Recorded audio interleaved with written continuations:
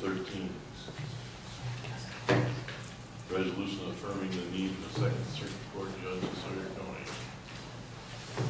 Mr. Chairman, may I comment? This arose in public safety, and apparently we voted as a resolution for, uh, uh, putting it back onto the full county board for their approval, and apparently we didn't have the authority to do that, did we, Tom?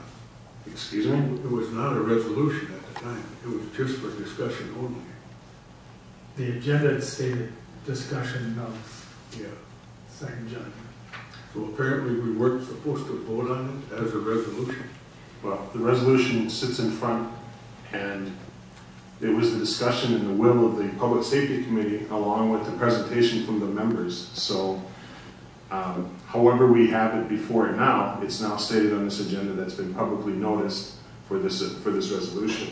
I think it's incumbent, I think it's, uh, I think it's a necessary need. I think it's also uh, our duty and responsibility as, as county board supervisors to recognize the criminal justice needs of this county, and that's embodied in this resolution, which is a study that proves that the caseload that we have for the current judge uh, warrants consideration from the Wisconsin legislature for a second judge. But we can't even get that kind of consideration until this county board shows support for that idea. So, And we supported it unanimously at our committee. right. And uh, we did it in good faith. I don't know why we can't continue with it onto the county board. Well, it's a resolution affirming the need, so it's up here for consideration from the county. Well, I make a motion to approve, approve the resolution affirming the need for a second uh, circuit court judge. And I second that motion. There's a motion by Mr. Paulson, second by Mr. Slender to approve. Go ahead. Yeah, I just wanted to bring up a couple of points on, on what this means. Um, By passing the resolution, you are showing your support for a second judge. What happens next is, is they're proposing legislation at the state level that would um, authorize a second judge for Sawyer County. If that goes through, then that commits you to that second judge, which means a second courtroom with a jury box and all that goes with that.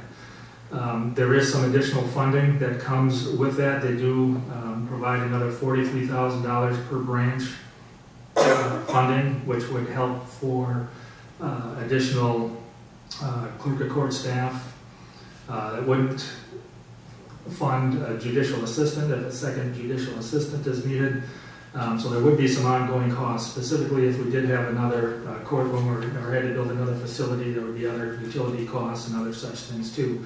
So you are committing to operating costs as well as capital costs. Um, that- And I'm not trying to say it's not a good idea, I just want you to be aware of what you're committing to when you, when you contemplate this resolution.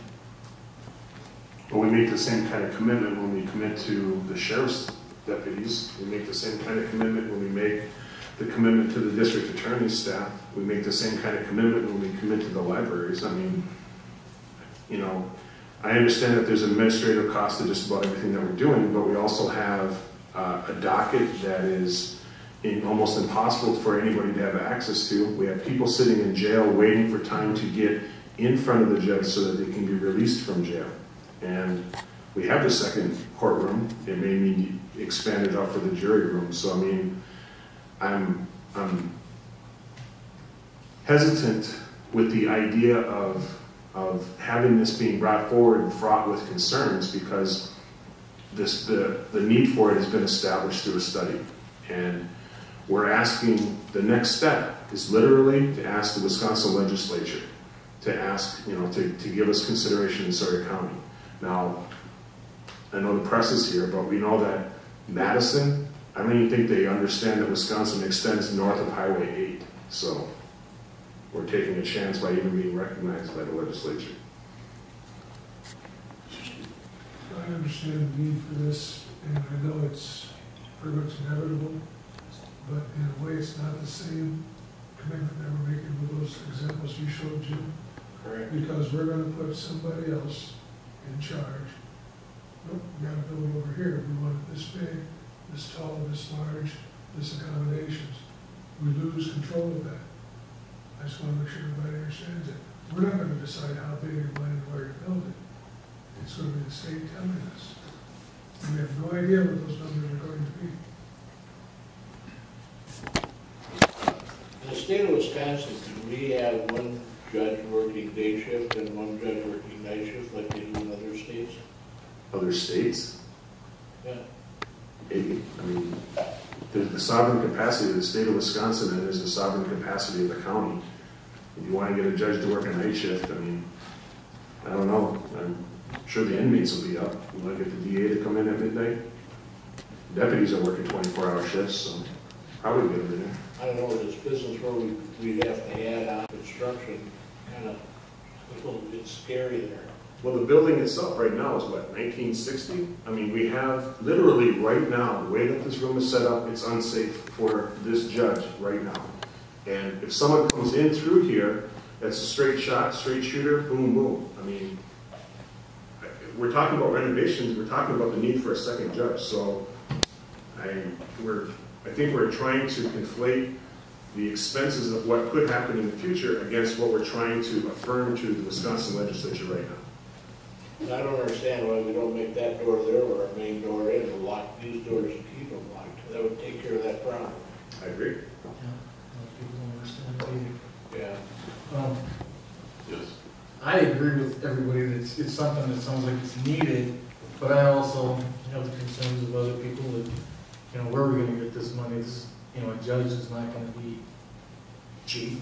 Comes out legislative allocation. So everything that we do, if we need to expand on a facility or make a new facility, is it gonna be paid for by the state? No, but the judge's salary and the support for that comes from, I mean, the, so the DA's salary comes from the state legislature, the sheriff's salary, the judge's salary, the second judge's salary.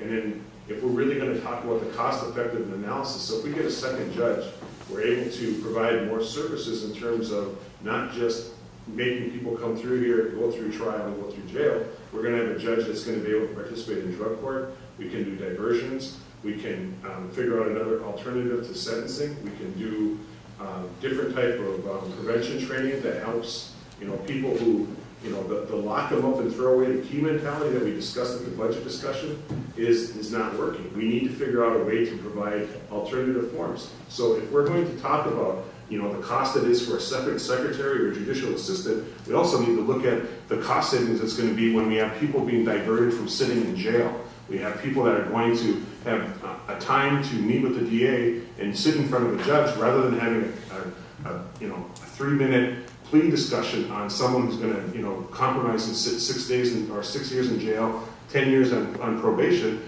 We're going to be able to do alternate dispute or alternate uh, sentencing so that they go to, to, to services. They get um, treatment instead of going to jail. So there's going to be cost benefits that's going as well too, but I don't see anybody discussing what the positive benefits is going to be with reducing the judge's workload. Oh, And I totally agree with all you, all you're saying there. And I just was asking as far as where the expenditures are gonna be for the county itself. And along with what you're saying is, once you do those programs, there's also a possibility of getting veterans program in there to do, because that's something that's come up recently also. So, I mean, I, I totally agree, it's a great benefit. I just wanna look at the cost of. So, And I was under the understanding that the criminal justice coordinator was gonna cut down our caseloads It's our and hope. the work that it was. Still going to And I know not immediate, but in the next two or three years. And what's gonna cut it down, please? Criminal The justice coordinator. Criminal justice coordinator. My question, does the resolution stand that we made at uh, public safety, or do we have to postpone it till next month and they can, to make a vote on it? There's already done. We have it posted right now in front of us. Yeah. So, I mean, public safety, it's a recommendation. It's a non-binding recommendation, but we've got it posted. It's, it's been made public notice. We can vote on it now as it's presented. Didn't we already have a, a motion? There's a motion and a second. Mr. Okay, Jim, we're talking about something that we have no idea what the actual costs are gonna be. If we uh, vote to go with this program, are we gonna be stuck and have to take it? And all of the expenses, construction, whatever all goes with it? Is that a done deal then? This is I mean, I'd like a, to know a little more about the finance side of this. this is a resolution to show that this county supports having a second judge for consideration by the Wisconsin legislature. So the bill hasn't even been drafted in terms of consideration from the Wisconsin legislature. But we can't be in it until we show support for it. So if we're worried about, you know, building an extra parking lot so that the judge has a safe place to park, maybe we shouldn't support a second judge. Is, Ron, is Judge Yackel the one that brought this forward? Actually, it was the DCA. It's the, the tenth judicial district. Um, his district, the, the, his name is Ron Harper, I think Don Harper, brought a study that showed, and there's a, there's a yearly analysis of all the judicial districts in the state of Wisconsin, which shows what the, what the ranking is for the need for judicial services. And Sawyer County has been in the top ten for like the last probably ten years. This is the first year that Sawyer County has ranked as the number one, which means that our judge that's currently working right now is handling an FTE load of like one point seven five. And so we're at the point now where this is something that can be considered by the Wisconsin legislature in terms of its allocation. So, but only, that, that the legislator can only consider that if the county supports the idea of a second judge. Now, does it come with cost? It absolutely comes with cost. But if we don't do the cost, then we're left with one judge doing two jobs and no docket, and then we have a reduction in terms of how a DA is gonna sentence because there's only so much space on the docket, and then we're left with jails that are full because people can't get in front of the judge because the judge is completely packed. I mean, this is, Yeah, I just wanted to touch on a couple of questions that came up. Um, Mr. Bassett asked about our- uh, cost uh, commitment, and that, that is the point I was trying to bring up, and I'm not trying to sway you one way or the other, I'm just trying to give you the facts that if, and, and the um, legislature, I mean, the thing that we're doing tonight is timely because they are going forward with that in October uh, with the state legislature. So it is important that you contemplate this this evening, which is unfortunate because it would be nice to get more details about it. However, this is where we're at. And so it goes to the legislator in October or proposed at that point. If they do pass it, that does commit you to those costs. Um, Which is why I brought it up. It's not to say that that's not a needed thing or anything bad about it, it's just one of the facts that you need to consider. Um, Mr. Schleeter says, stated something about we don't have control over the size or whatever of the courtroom. We do have, as a county, you are funding whatever it is would need to be built for that. So you do have some control over what those costs could be. But the judicial branch or whoever they are has the authority to say whether you've met the standards, you know, the, the Supreme Court standards on what a courtroom needs to look like. They can say this meets it or doesn't meet it, and so there is some give and take on what needs to be built there. But the county is in control of where they build it, how they build it, what they build, if anything. Um, So you do have some control over that. And then the, the workload, uh, Sawyer County is number one, the workload for judicial officers, one point four four, uh, which is the highest ranking uh, out of all the counties. Yes. Um, we had a lot of discussion on this, on public safety. We were told if we did this, the benefits, the money that we would save, correct? Sending them out, um, sitting in jail over their 30, 60 days, whatever. Um, And it was discussed thoroughly, and it was decided that the money we would be saving, correct, Craig, you were there, um, would, would help with this, that there is a need. You know, it's, it's costing us crazy for shipping these, these people to different counties. I don't remember the exact amount, but, you know, we're under, we're understaffed at the sheriff's department, we're full to the top. And now all of a sudden, we're sitting here worried about what it's gonna cost. We know this needs to happen. Second part, and this is the same analysis that we had that Helen makes reference to, is that, so if this legislation, if this legislation survives the scrutiny that had, that is proposed in October, and everything works out where it lines up and goes indefinitely in Sawyer County's favor, the impact is twenty nineteen. Exactly. Mr. Slater. Thank you.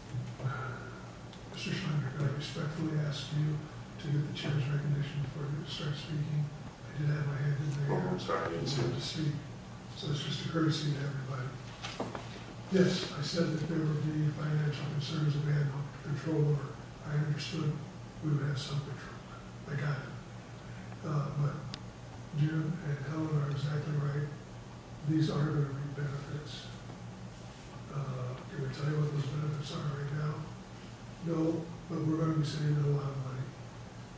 I'm gonna vote in favor of this. I'd like to have all the vote and I think it will pass. You also have to remember that we just approved having a criminal justice coordinator that's gonna help. with This all all this. dovetails very nicely. I just did the same thing I criticized Jim for. I apologize. But Dale, you're, okay, we're gonna get some benefits, but we have no idea what the cost is gonna be. How can you make a decision to do whatever, even though you're told it's a step in the right direction? Which, which I kind of agree with. It's just that we don't know, we're gonna be absolutely blind as to where we're gonna come out financially at the end of that deal. We have no idea. We're spending money blindly. We haven't spent, I'm sorry, Go ahead. We haven't spent a dime yet. Well, I know, but And we won't be spending a dime in eight, two thousand eighteen. Uh, this will be probably come along in two thousand nineteen, correct? So, we'll be actually voting on as far as the budget goes next year for this, because we'll have, we'll have more information on it. But I agree with, at least, looks like at least eighty, ninety percent of the people, but this is required. So, The, the cost, I apologize for bringing up the cost, if I, I was the one, but, uh, it's irrelevant. We don't, we, at this point, we don't even need to worry about the cost, because, as they said, the benefit outweighs the cost, and could even help out the cost. how do you know that if you don't know what the cost is gonna be? Because right now, I mean, I worked in the jail system for seven years, I know what goes on over there, and, and how many they have out of county, how much it costs, to house them out of county, all that kind of stuff. So eventually, by having these people, as Mr. Slinger said, going through the process faster than they are now, we're not spending all that money to house them, to feed them, all that kind of stuff. So, in the long run, it's gonna pay off. That's my opinion, that's probably. Mr. Slater. Every year when we make a budget tonight, we're putting ourselves at the mercy of what the federal government mandates and what the state government mandates. So this really isn't all that new of a situation for us. Any further discussion? We have a motion and a second to approve.